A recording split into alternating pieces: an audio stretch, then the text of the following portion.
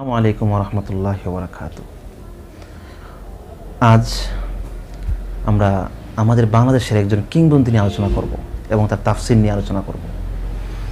শেখুল কোরআন হজরত মাওলানা আবু তাহের মিসবা হাফিজাহুল্লাহ তালা আমরা তাকে চিনি ইসলামী বাংলা সাহিত্যের একজন কিংবদন্তি রূপে। আমরা তাকে সবাই জানি আদিব হুজুর নামে। কিন্তু হজরতের আরেকটি পরিচয় আছে। যে পরিচয়টি আমাদের অনেকেরই অচেনা, অজানা। সেটি হচ্ছে, তিনি আমাদের বাংলাদেশের একজন নীরব শেখুল কোরআন। তিনি কোরআনের একজন বিজ্ঞ পণ্ডিত। হজরত হাফিজাহুল্লাহ কোরআনের যে খেদমত করে গেছেন, সেটা যুগ যুগ হয়ে থাকবে অবিস্মরণীয় হয়ে। আমাদের বাংলাদেশের মধ্যে, বরং বাংলাদেশ নয়, আমি বলব গোটা বঙ্গদেশ যেগুলো আছে এই গোটা বঙ্গদেশের মধ্যে যারাই কোরআনের অনবদ্য এবং অনন্য খিদমত আঞ্জাম দিয়ে গেছেন, তাদের অন্যতম হচ্ছেন মিস্টার সাহেব হাফিজাহুল্লাহ তালা হজরত যে দুইটা কাজ, আত্তরিক ইলাল কোরআন করিম, এসো কোরআন শিখি, এবং আত্তরিক ইলা তাফসিল কোরআন করিম, এসো তাফসির শিখি। প্রথমটা চার খণ্ডে, আর তাফসিরটা হচ্ছে তিন খণ্ডে, বৃহৎ বৃহৎ তিন খণ্ডে। এই তাফসির যে, তাফসিরটা, সেটা সম্পর্কে আমরা অনেকে নামই জানি না যে হজরতের এই তাফসিরটা আছে। এটা কারণটা কি? কারণটা আমি এভাবে বলব।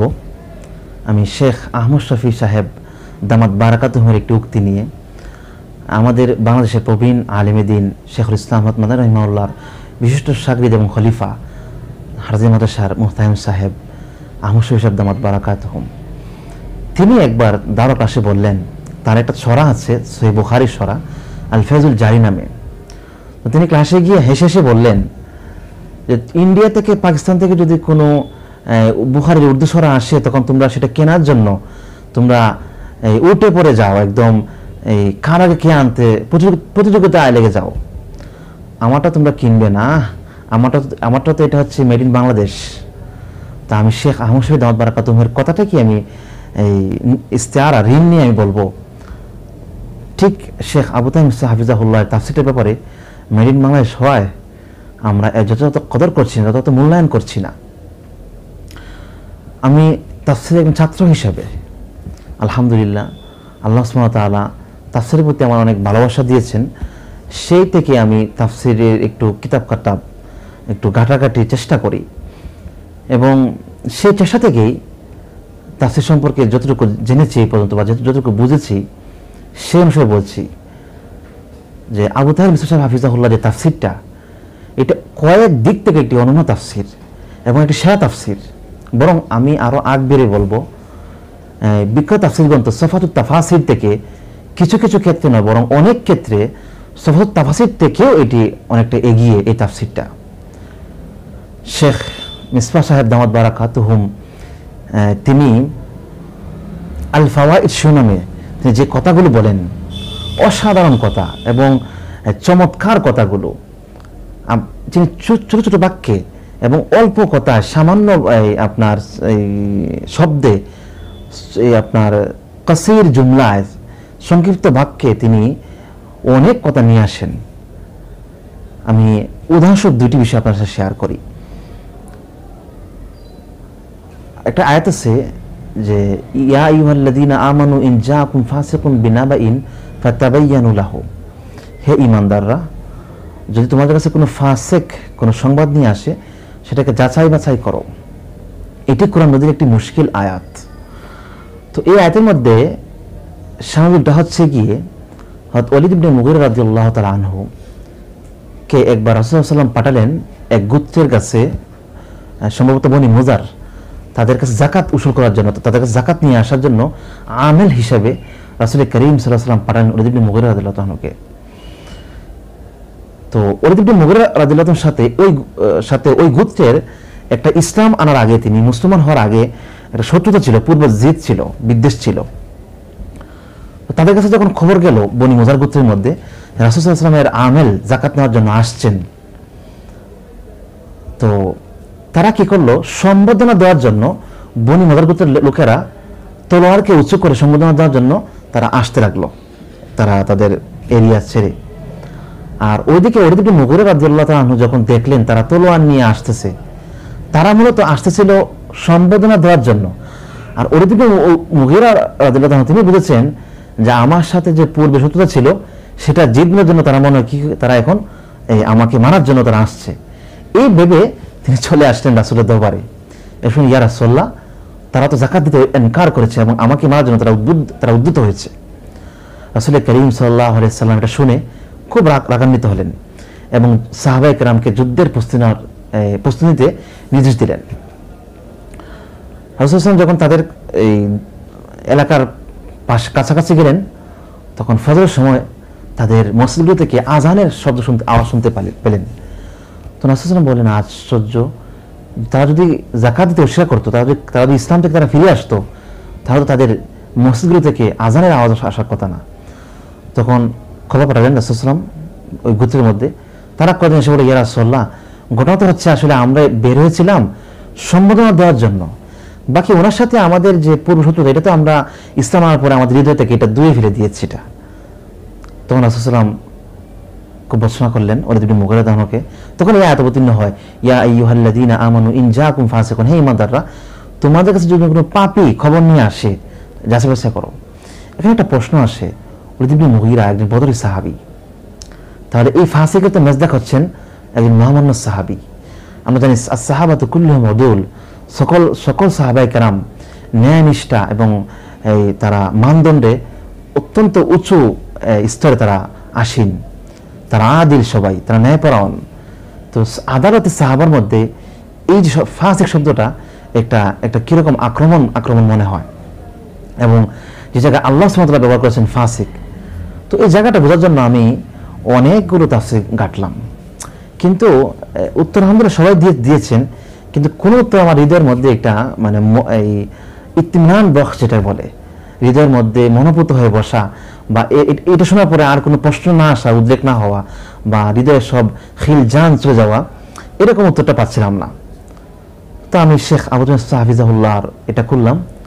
আলহামদুলিল্লাহ। হজরত হজরত জব দিলেন এই বলে যে, কোরআনের একটা নীতি হচ্ছে যে, সাহেবে মান কাবাত অর্থাৎ উঁচু স্তরের কোনো মানুষ বা বুজুর্গ যখন কোনো সামান্যতম ভুল করেন তখন তাদের কাছে শব্দ ব্যবহার হয়, খুব কটু শব্দ ব্যবহার করে। এটা এটা একটা কোরআনের নীতি।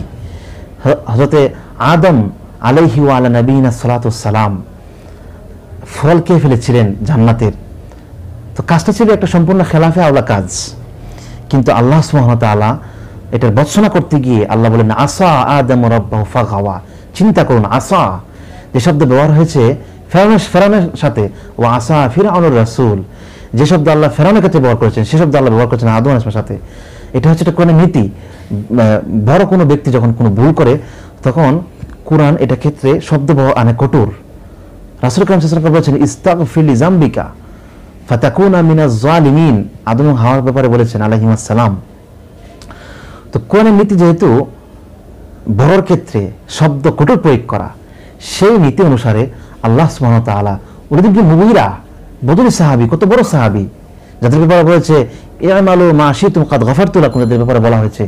সেই সাহাবি যখন, এত বড় সাহাবি যখন ভুল একটা তাতে, একটা ভুল হয়ে গেল, আল্লাহর বৎসনা আসলো কঠিন শব্দে, ইন জাকুম ফাসিক তো মিস্টার সাহেব হাফিজুল্লাহ জবটা, তিনি বলেছেন, জাজরান আলাইহি যে হজরত অলিদুল্লাহ মুগর রাদিল্লাহ পর, জাজরান ওনাকে কোরআনের নীতি অনুসারে শাসানোর ওনাকে শাসানোর জন্য আল্লাহকে ওনাকে শক্তভাবে ওনাকে শাসানোর জন্য আল্লাহ সুবহানাহু ওয়া তাআলা শব্দ ব্যবহার করেছেন ফাহাসি শব্দ। আসলে এখানে উদ্দেশ্য বাকি যারা আসবে, যেহেতু আমরা জানি কোরআনের যে হুকুমগুলো আসে, সেই হুকুমগুলো উদ্দেশ্য হয় যদিও আসে একটা প্রেক্ষাপট নিয়ে, বাকি এর মর্ম এটা ব্যক্ত হয় সকলের ক্ষেত্রে। উন্মত মোহাম্মদ সকলের ক্ষেত্রে ব্যক্ত হয়। তো আল্লাহ তাআলা ফাহাসি শব্দ ব্যবহার করেছেন, এটা আবার কয়েদে ইহতাজ না, কয়েদে ইত্তিফাকি, অর্থাৎ যে কেউ খবর দিলে এটা যাচাই করবেই, আর যদি ফাঁসিক খবর দেয়, তাহলে তো আরও ভালো করে যাচাই বিষয় যাচাই করবে। এগুলোকে কদ ইত্তেফাকি বলে ফাতায়াতিকুমুল ফাতায়াতিকুম বিগা ইন এখানে ইন বাক্যটা, এটা আপনার না, এটা ইত্তেফাকি। তোমাদের তোমাদের যুবতীরা যদি মানে তোমাদের বাদীরা যদি তারা জিনা না করতে চায়, তারা ব্যবসাবৃত্তি করতে না চায় তারা পবিত্রতা চায়, তারা নিজেদের সতীর্থ করা চায়, তাতে তাদেরকে বাধ্য করো না ব্যবসা ভিত্তিতে। তো এর মানে এই না যে তারা যদি না চায়, করা যাবে, বরং এটা কয়দি ইত্তিফাকি, অর্থাৎ তাদের তাদেরকে তো ব্যবসায়িত বাধ্য করবে না। আর যদি না চায়, তাহলে তো আরও বা শক্ত বিষয়টা না করার প্রতি নির্দেশটা, এই তার যে নিষেধটা। তদ্রুপ আল্লাহ তাআলা ফাসিক শব্দ ব্যবহার করেছেন, জাজরান আলাইহি। ওদের উপর শাসনের জন্য শব্দ এনেছেন কঠোর, যেহেতু যে জায়গায় আদম আলাইহিস ব্যাপারে এনেছেন, আসা আদম ফারাব্বু গাওয়া এখানে ওনার ব্যাপারে এটা এটা সামান্য। এই দেখুন একটা জবাব, জাজরান আলাইহি, কি চমৎকার জবাব মিসফা সাহেব হাফিজাহুল্লাহ তাআলা। এবার আরেকটা আয়াত আছে আমামা ইউনাশা ফিল হিলিয়া, যে আল্লাহ ওয়া তাআলা এক জায়গায় মুশরিকদের ব্যাপারে বলতে গিয়ে তাদেরকে, তা- মুশরিকদের উপর- রদ করতে গিয়ে আল্লাহ তাআলা বলেন যে আমামা ইউনাশা ফিল হিলিয়া, যে প্রতিপালিত হয় ফিল হিলিয়া, জেওরাত, অর্থাৎ মানে ছোট- থেকে ছোট থেকে সে বড় হয়, এই প্রতিপালিত হয় লালিত পালিত হয়, এই অলঙ্কারের ভিতর দিয়ে। ওহুয়া ফিল খিসামে গায়রু মুবিন। এবং সুন্দর করে কথা বলতে পারে না, সুস্পষ্ট করে। অর্থাৎ উদ্দেশ্য, এখানে উদ্দেশ্য নারী বলেছেন ফসরে কালাম আমার তাফসিরটা, আমার হাতে আছে আমি একটু এবারটা পড়ে শোনাই। তো এই আয়টা সম্পর্কে একটা প্রশ্ন আসে, যে আল্লাহ সুমতলা বলতে গিয়ে এক পর্যায়ে বলেন যে, তোমরা কি আল্লাহর ক্ষেত্রে তোমরা এই, আল্লাহ বলছেন আমিত্তা খাজা মিম্মা ইয়াখলুকু বানাতি ওয়া আসফাকুম বিল বানিন। আমরা জানি মক্কার মুশরিকরা ফেরেশতাদেরকে বলতো, আল্লাহর কন্যা। তো আল্লাহ বলেন যে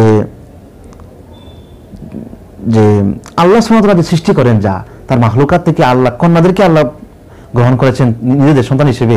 আর তোমরা গ্রহণ করেছ, আল্লাহ তোমাদেরকে দিয়েছেন ছেলে সন্তান। এটা কেমন বিচার?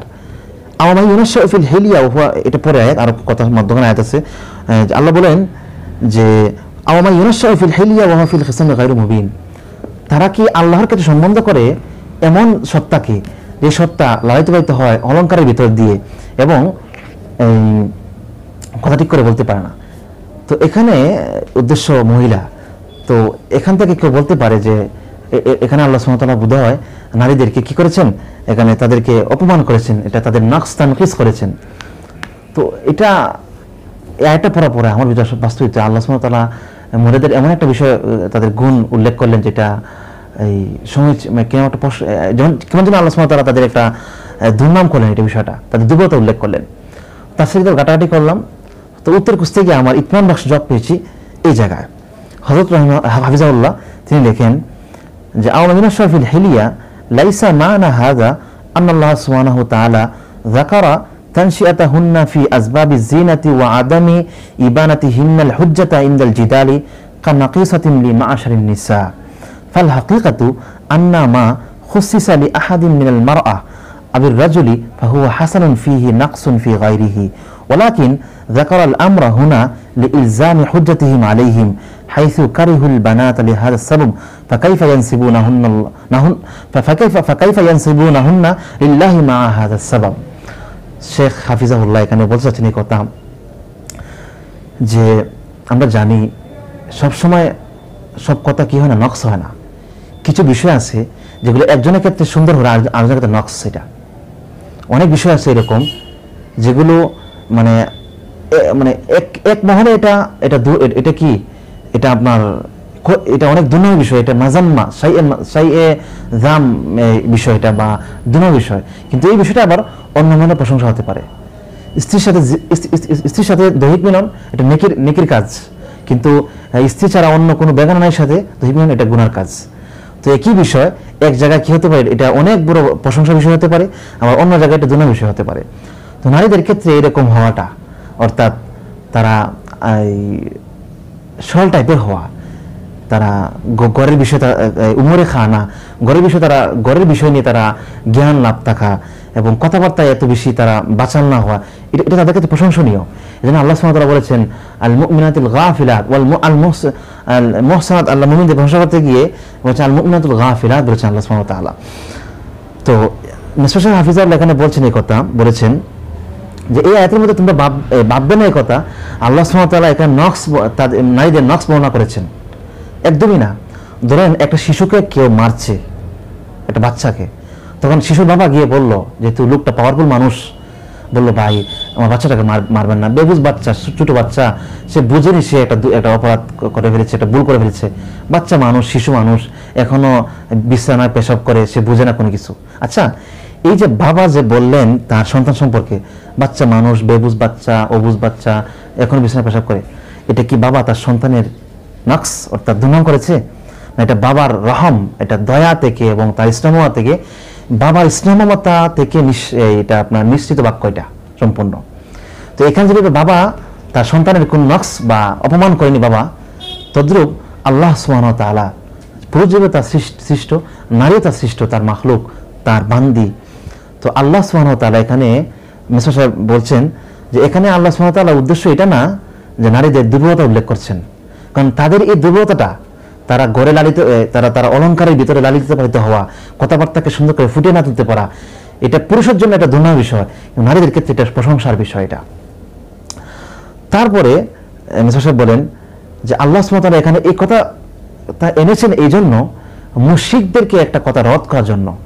তা আল্লাহ বললেন যে যখন তোমরা নারীদেরকে পছন্দ করো না, এই কারণে তারা ঠিক করে সুন্দর করে কথা ফুটিয়ে বলতে পারে না, তারা এই তো, জেওরাতে অলঙ্কারের ভিতরে লাইতে পাইতে হয় তারা শুধু ধন সম্পদ অলঙ্কারই বুঝে আর কোনো কিছু বুঝে না। যখন তোমরা এটা মানো তো এই দুর্বল তোমরা তোমরা তোমরা- এই কারণে এই কারণগুলোর কারণে তোমরা তাদেরকে দুর্বল বলো তোমরা। তাহলে এটা কেমন বিচার হলো? যে দুর্বলকে তোমরা সম্বন্ধ করলে আল্লাহর দিকে আর সবলকে নিয়ে গেলে তোমাদের তোমাদের দিকে? তোমরা কোনো মেয়ে হলে তোমাদের তোমরা মুখ লুকিয়ে ফেলো। ওইজা বুশিরা আহাদুহুম, আল্লাহ বলেছেন, যখন তাদেরকে কন্যা সন্তানের সংবাদ দেওয়া হয়, তখন তারা জল্লা মুসওয়াদ্দা চেহারা কালো হয়ে যায় বিভিন্ন হয়ে যায়। তো তোমাদের মেয়ে হলে তোমরা লজ্জায় অপমানে তোমরা মুখ লুকাও এবং তোমরা খুব তোমরা রাগান্বিত হও।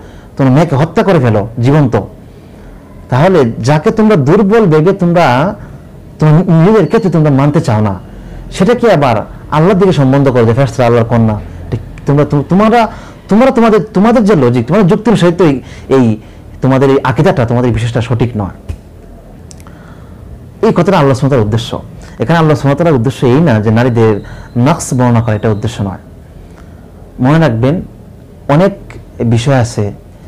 গোলাপ ফুল। গোলাপ ফুল আপনার ছুতে গেলে কাঁটা পেরিয়ে যেতে হবে। কাঁটা আছে। সেই কাঁটাটা কাঁটাটা পেরিয়ে আপনার যেতে হবে গোলাপ ফুলের কাছে। তো গোলাপ ফুল পেরোতে হলে আপনার কাছে পৌঁছতে গেলে আপনার কাঁটা পেরোতেই হবে।